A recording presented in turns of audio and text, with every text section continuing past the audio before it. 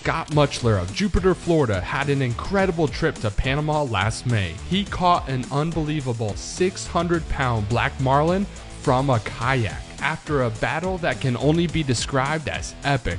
Two days later, Mutchler continued his fishing hot streak. About 20 minutes into the fish fight, Mutchler figured he was battling a huge Cubera snapper. Despite the size, Mutchler decided to release the fish. If he had killed and weighed the Cubera on certified scales, his fish possibly would have topped the IGFA species record for both all tackle weight and all tackle length.